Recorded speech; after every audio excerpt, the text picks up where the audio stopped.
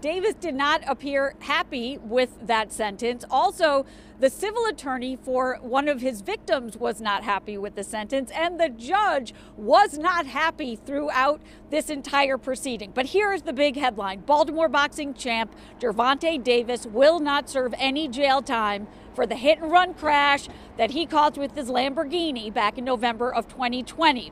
In February of this year, Davis pleaded guilty to charges, traffic offenses connected to that crash, in which he ran a red light, hit another car. Four people inside, including a pregnant woman, were injured.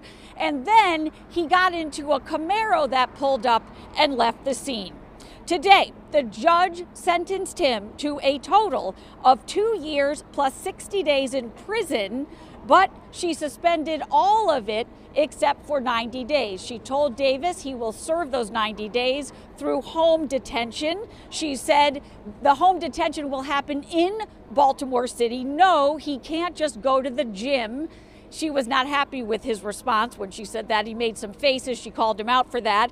And then she said he also will serve three years of supervised probation in Baltimore City, she said, because I'm also making you attend a MADD panel, a shock trauma program, and 200 hours of community service, quote, and that will not be in boxing. After the hearing, as people made their way out, we tried to get their reaction, but Mr. Davis and his lawyer had nothing to say.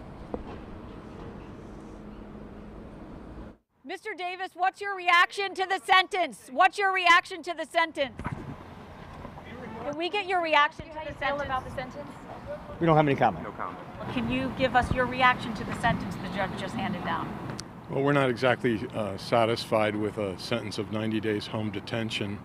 Uh, we believe that based on the severity of this incident, it doesn't seem to be much of a penalty to me. The judge seemed to take issue with the fact that he may have had special treatment. She asked the uh, state's attorney, "Why didn't you mention he's never had a valid license?" She asked the defendant, the defendant and the defense attorney, "Why was he allowed to attend his pre-sentencing investigation with an entourage and not answer any questions?" Do you feel like he was treated differently than other defendants? Well, he definitely was, and the judge noted herself in her comments that he believes he's above the law. That is the civil attorney for the only victim who has yet to settle up with Mr. Davis. She spoke at today's hearing. She told Gervonta Davis he ruined her life. She said she can't walk or stand for long periods of time, said she can't play with her kids. She said she can't go back to work. She can't, uh, she had to stop going to school because she can't walk across campus. And she also called him out for never apologizing. She was crying when she did that.